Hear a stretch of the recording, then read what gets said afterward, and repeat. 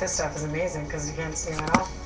We applied the right to bare legs to just one of April's legs so you can see the side-by-side difference. Look again. This is April's leg before, and here it is after the right to bare legs. This my leg so looks like it has a glow sheen to it, so it My looks like it has a lot of mass. vitality to it. Like a Secret blizzard. Jones' When translucent we dermal drink it to technology. what right, getting It's a so light, there's a effective scissored in my concealer that right. comes in three shades. Like a 3-6. medium, Now, and tan. I don't right remember to bare legs works with Like a natural skin G6. like a give you sexy, G6, like a slimmer-looking G6. legs Now, mm, now, I'm Thank feeling so fly, like a G6. I'm So, sure Jim, I'm not ready to put your obviously video yet. used other products. I've used from mud, mud.